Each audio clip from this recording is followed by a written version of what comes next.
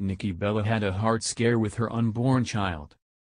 The 36-year-old reality star and her fiancé Artem Chigvintsev, 37, rushed to a Los Angeles hospital to get their baby double-checked, but thankfully everything was alright. Speaking Wednesday on the Bellas podcast, Nikki said, We kind of had a heart scare. And so, Artem and I had to drive to Los Angeles to get our baby double-checked, because they thought they saw something in our baby's heart. Everything came out great which we were so blessed and happy about. Meanwhile, Nikki previously confessed she isn't sure if her unborn child will be a wrestler or a dancer. The Total Bellas star said, Mine's either wrestling me inside or doing the cha-cha. So I'm trying to figure out what I'm feeling because my baby moves so much. It's like punching and kicking and dancing. But I love it. In a joint interview with her twin sister, Brianna of her own pregnancy, they're doing crazy kicks, like, strong, strong kicks. And right when mama wants to go to sleep, it becomes a big drop-kicking party in my belly.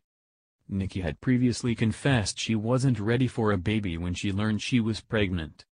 Speaking on her reality show, which was filmed before she found out she was expecting, she admitted in last week's episode, it's only been about a week since we got into our big argument, and honestly, this is just, this is way too fast.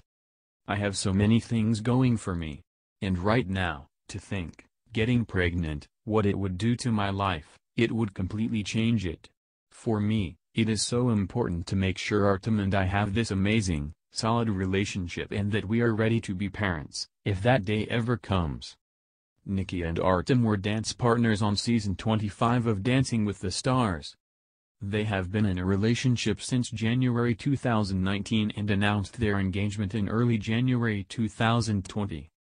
Nikki revealed on January 29 that she and Artem were expecting their first child together and Brie also announced she was expecting her second child with husband Bryan Danielson.